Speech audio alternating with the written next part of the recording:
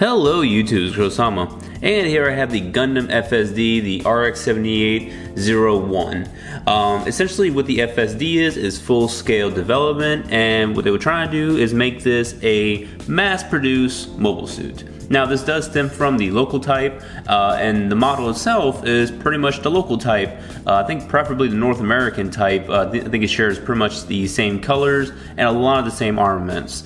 Um, so there's really not too much different with this, but since I haven't reviewed the local type or the North American local type, uh, I'm just gonna go ahead and do a full-blown review for this as if I never touched those before. Um, and actually, the fact is I never uh, touched or even like really messed with those uh, figures at all, those, those kits. So what is left over with the kit? Well, you're gonna get a couple pieces, uh, namely some stuff for the backpack right here, and you're gonna get some parts for the waist, which I'm pretty sure uh, this is the local type North American. Um, and then over here, you're gonna get the chest plate for that same suit. You're gonna you're gonna get these two uh, orange parts. To be honest, I don't know where these plug into. I want to say they're either a part of the chest or they're gonna be a part of the waist, um, but I'm actually not very certain about where these two parts come from. Then you're gonna go ahead and get some um, side like side skirt armor, and these look like thrusters for the backpack. So with all the extra parts out of the way, let's go ahead and start at the top from the head all the way down to the legs. Okay, let's go ahead and get started with the head. Uh, first thing I want to go ahead and just mention, sorry about the lighting. I don't have my lamps in yet. I won't be getting my lamps until uh, Wednesday of next week, but I think tomorrow while I'm out, uh, I'm gonna go ahead and just purchase an extra lamp, just, just to at least have one extra lamp uh, for this review or for reviews in general, uh, so that way I can give y'all some better lighting. But without further ado, let's go ahead and just start looking at the head. Um, now, the one thing that is actually kind of cool, you can still see the eyes uh, through the visor right there. Um, now I, pa I painted the eyes gold, so that might kind of help as to like why you can see the eyes. Um, but basically the visor the visors are pretty dark red, so it's kind of hard to see. But when you get like the, the light kind of uh, shining in just the right moment, you can definitely still see through it. Um, now with the head, the one thing I will say is that that front little like um, orange like crown or like jewel, uh, that thing's pretty loose. Uh, kind of fell off a couple of times. Uh, luckily, nothing. Luckily, I never like I lost it or anything like that. So just be careful whenever you're maneuvering it. But overall, I don't think there's anything special or different about the head. Uh, you do get some decals uh, for the back as well as for the sides and everything. But overall, the head looks fine. Okay, let's go ahead and take a look at the chest real quick. Um, the noticeable difference that you're to go ahead and see is that the front uh, plate as well as the vents right there are different. They're not exactly the same as the local type and uh, North American local type.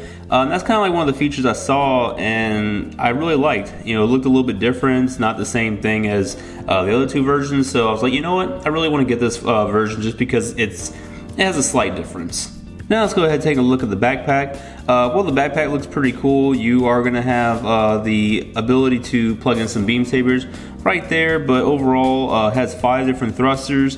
Um, you know, easily paintable, and you can go ahead and paint the inside as well if you you know wish. I just went ahead and put a little bit of uh, metallic blue in there because uh, either metallic blue or metallic red to me always looks good inside of thrusters. But overall, looks pretty dope. Okay, so looking at the arms now, um, the arms are pretty much going to be the same. Uh, I know, uh, just seeing a couple of the reviews I, I have seen online, um, looks like the arms are exactly the same. I think they have the exact same decals as well, and the decals are really, really nice. Now, obviously they're uh, stickers, so technically they're not decals. They're just they would be called sticker markings, um, which they look fine. You know, like the uh, the cut of them are is, is very uh, trimmed, so like the the uh, orange in particular, you really can't notice that it was just a straight up sticker uh, unless you look hard enough, or if it's you know glaring um, from the light. But overall, like I think the stickers really look phenomenal. Um, something that I think most high grades should definitely come with, uh, if not a couple, then you know maybe a, a, full sticker sheet just as this one. But um, that might lead to why this kit was so much uh, money. I think it was like originally like 2,200 yen but you can obviously find it for a little bit less than that. But yeah, 2200 yen for a high grade is definitely steep. Okay, let's go ahead and take a look at the weights real quick. Now this yellow, uh, pretty much, I don't even know what that is technically supposed to be. Like, it's just a V. I know like a whole bunch of mobile suits have that, especially the uh, the Granddaddy. But I don't even know what that's supposed to be. But um, anyways, uh, that's actually technically supposed to be a sticker, but it's so easy to just go ahead and paint yellow on there and then put um, panel lining around it just so that way it can pop a little bit. Uh, but overall, that's fine. And then the front skirts, obviously they're independent if you cut them, which I do recommend cutting. Uh, then right here, you're gonna have these side skirts and then this part's gonna come up, but that's going to be for when we plug in the, um, the ammo belt, like uh, the barrel, the ammo uh, barrel for the uh, Gatling gun in the arm. Now the back part, this actually does not come up, so that sucks. Uh, but you do get some orange uh, markings right here, which is really nice and looks pretty cool. So this little mobile suit has a pretty nifty little feature. Um, the leg parts kind of just rotate like like this. Um, I think a lot of the uh, Origin kits pretty much has this gimmick, uh, so you can kind of just rotate the legs a little bit forward. And of course, it's going to have that little peg center right there, so that way you can go ahead and plug into an action-based stand. And lastly, for the body, uh, we're to take a look at the legs. Um, legs look pretty good. I mean, there's there's nothing really too bad about these. Um, they have a pretty good bend. The only the only only issue I have with these is that these feet just they don't have much of like a pivot as far as the ankle. Um, so whenever I do get to my pose video, it's to be really really hard uh, to get this guy standing in some dynamic poses without looking, um, you know, as goofy as it's going to be, kind of just like on his uh, on his side like that. But overall, it's not really really too bad. Um, the legs do have some great markings as, as you can see. Uh, the color is really great. I mean, you're gonna have like this really nice black right here, and then this is pretty much a dark brown, and you're gonna have like this tan for the uh, the inner frame. So overall, the legs are really fine, and there's no there's no underlining issues with them. Okay, so we're to start talking about the weapons. Now, the first weapon I want to talk about is just to be the beam sabers. Um, the beam, beam sabers are stored right here in the backpack, um, and then these parts right here can actually rotate uh, just a little bit back and forth um, if you want to try and like get in the pose with grabbing the beam saber. The one thing I will say is that they loosely fit in there, so it's not going to be a very very tight fit, or at least for mine. Um, so you just got to watch out. You know they're going to probably fall out quite often, and you do get some um, two, in, you know two in fact uh, beam saber effect parts. So with that, you'll be able to just go ahead and plug in some uh, beam effects, and then bam, now he has a nice little beam saber at his ready. So you do get three beam sabers. This extra one is supposed to be on this arm, but this piece right here that is on these two little pegs, this is a part for the shield.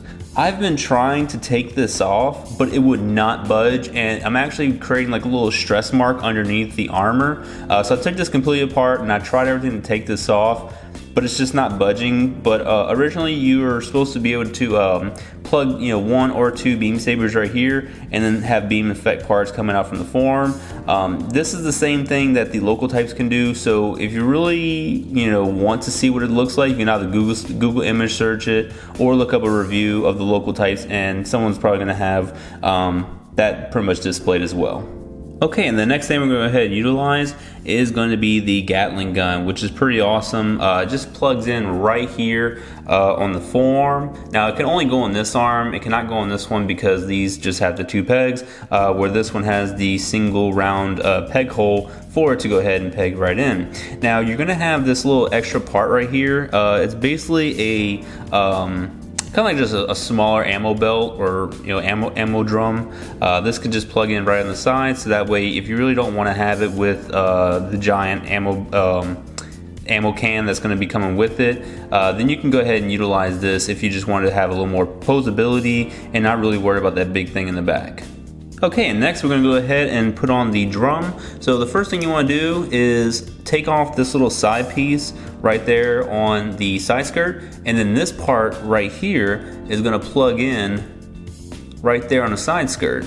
And now you want to go ahead and take off this uh, portable drum and then plug the ammo belt right inside there. Alright, and now you're to pretty much have a really awesome Gatling gun with a giant uh, drum magazine on the back. Uh, I think this looks really awesome. This was the selling point for me to get this kit because I just think that Gatling gun, the arm, looks so, so awesome and actually very menacing. Um, so that was just, that's this is the main weapon right here, but it does come with some other things uh, that I'm about to show you right now. All right, now with having a Gatling gun and you know having some good firepower, he's going to need a way to protect himself. So that's why they give you this nice large shield. Um, this is probably one of the coolest shields I've seen in the UC universe. Um, I just never seen it fold like this, so it's kind of a more uh, portable like looking way or I don't, I don't, really know the full function uh, but I guess if it's folded like this and it just kind of builds up its uh, durability but has a smaller range uh, for him to protect himself now originally you're just going to want to um, put this like with this piece right there, but since it's already on, uh, I'm just gonna go ahead and plug it right in. So obviously you're gonna have some good uh, kind of movement with this. Uh, and also has two different like peg holes right there. So um, I'm guessing if you wanna go ahead and put up here, you can. Um, but that's kind of just up to you. Okay, and the markings you're gonna get on the shield uh, looks really, really awesome. Uh, I love that. I, I just, I love I love markings on the shield. I, I think that I think that's pretty much a thing most people enjoy. Um, but I love the, the orange right here on the sides, and also love uh, the giant 01 right there. And then uh, whenever you flip it up, then you get uh, 7801, which it's uh, pretty much a serial number.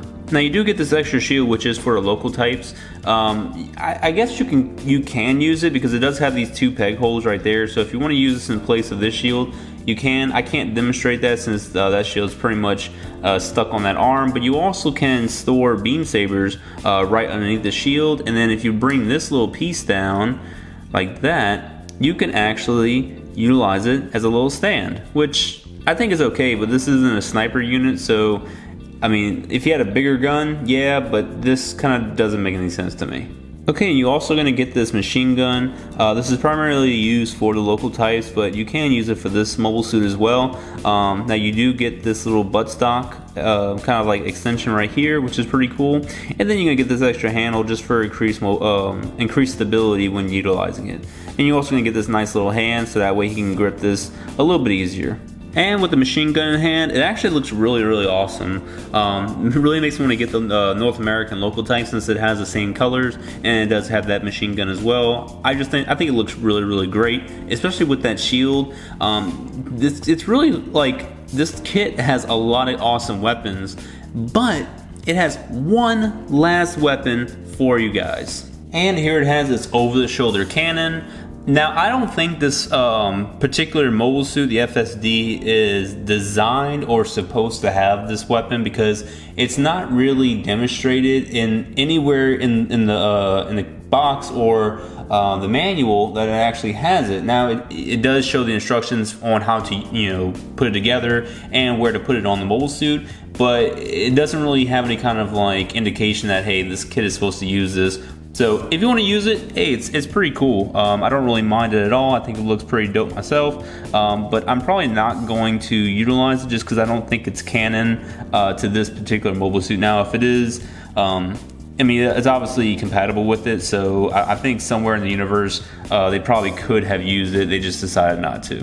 All right, and also you're gonna have this little attachment part right here on the machine gun. So if you wanna go ahead and store this on its back, you are more than able to, just like so. And then while you're not utilizing this shield, if you want to go ahead and store it, it does come with this little attachment part. So all you need to do is plug it into the back like so. Alright guys, well that's all from me. Um, my final thoughts on this kit is, um, to be honest, it's amazing. 100% it's awesome looking. Um, is it fun to mess with? I would really say it's okay. Uh, the main problem is going to be uh, those little beam saber effects, well, the beam saber holders. Um, those those are not really sturdy. They don't really plug in that well, which is probably a good thing because if you have those beam sabers painted, then you won't really be uh, stripping the paint. So that could be a good thing. But for me, since this is essentially a straight build with just a couple of top coats, um, I, I, I didn't really care too much for it. Um, now the ankles, the ankles are horrible. Uh, I really don't like them. Uh, it's, it's, extremely tedious and difficult to get this guy to pose or to do any kind of proper uh, like standing positions. But you know, hey, it's not something I don't I don't really see doing like something really stupid dynamic. This isn't this isn't Gundam Seed or or any other like over the top super robot Gundam uh, series. Um, this is pretty much a grounded you know series. So uh, you know, hey, I kind of give it a pass. It can it can stand up. It can do basic positions. So to be honest, like this is fine. This isn't really uh, too big of an issue. Uh, but the biggest pluses is going to be uh, the weapon sets that it's going to have, the shield, and the markings. I think all those give it um, a major boost in just looking really presentable and really awesome. So would I encourage you to buy it? Absolutely. If you really want to spend the you know 22 or I would say anywhere from well any any any less than like $26, I see this is a good value. Higher than 26, I would probably say pass or maybe wait for a sale or just look elsewhere for um, you know some better pricing. So that's it guys, that's all for me. Uh, definitely thank you for watching this review. Stay tuned for the pose video which is going to be coming up very soon. Um, other than that guys, uh, stay tuned for more and make sure to like, subscribe, ring that bell for future notifications of my videos and I'll see you in the next review. Bye bye.